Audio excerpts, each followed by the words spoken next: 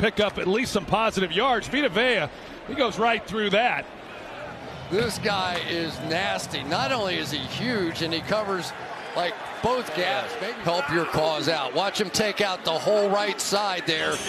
Maybe someone should just run the ball and go to halftime. Let's run the ball, help these guys out a little bit because both quarterbacks are under huge. Man, what an athlete this guy is at 350 pounds. He just signed a contract. And Vita Vea is lined up over him, and he just runs roughshod over him. He gets a straight shot.